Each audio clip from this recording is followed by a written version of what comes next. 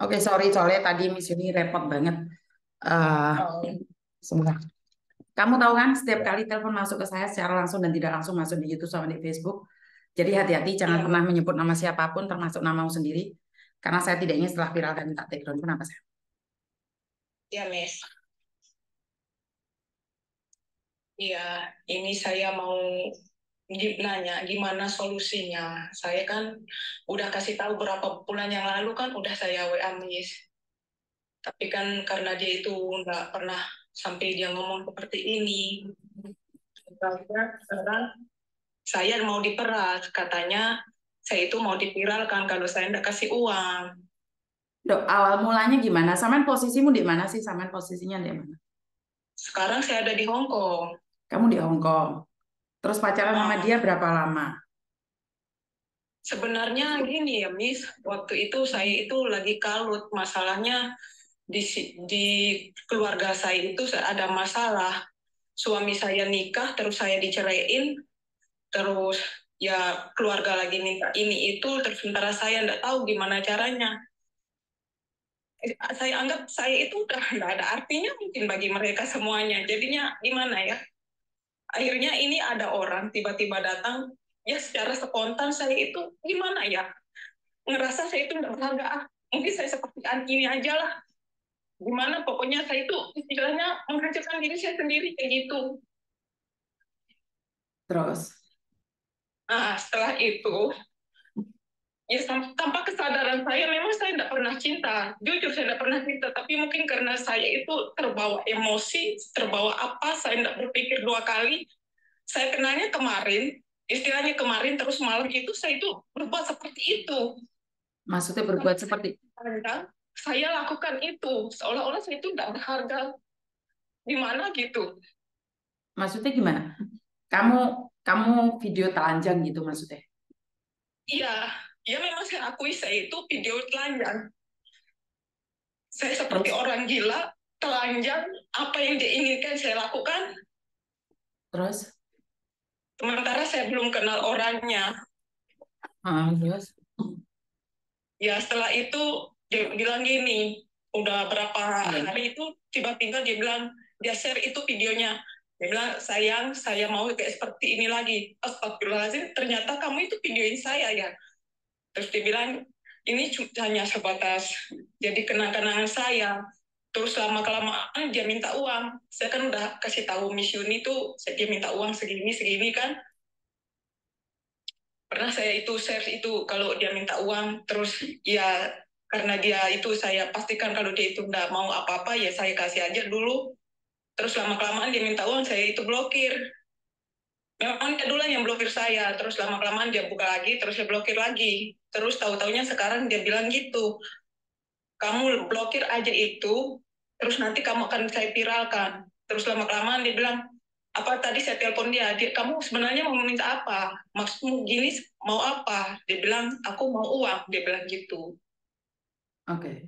Terus? Ya, Terus saya bilang, ya sekarang saya itu coba ngomong sama dia, kalau mau uang, uang kamu mau berapa? Saya bilang gitu. Saya bilang sih, tadinya saya tidak punya uang, tidak punya apa, ini itu. Saya bilang, saya di sini ada terlilit utang apalah, saya ngomong kayak gitu.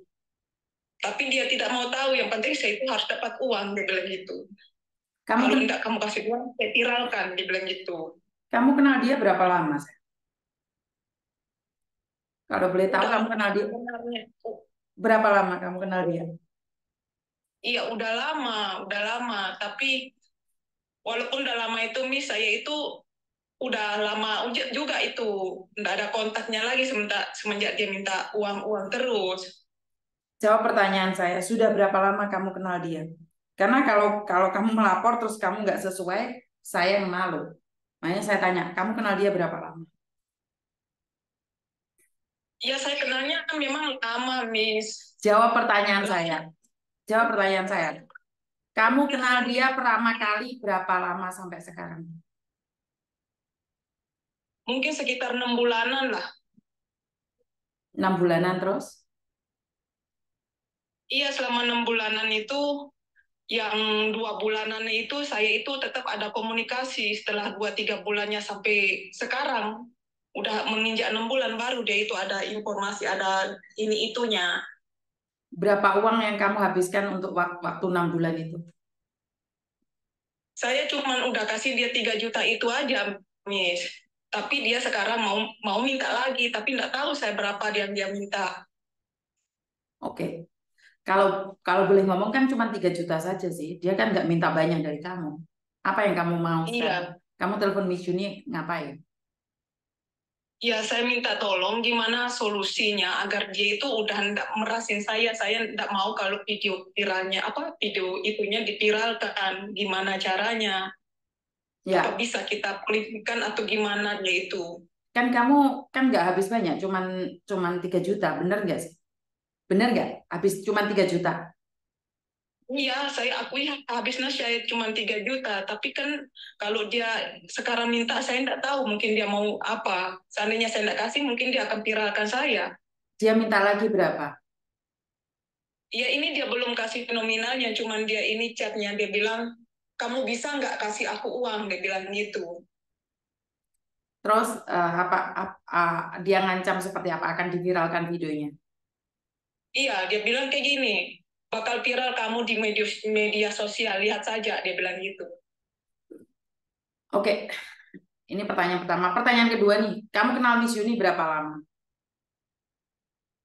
Udah lama saya kenal Miss Yuni.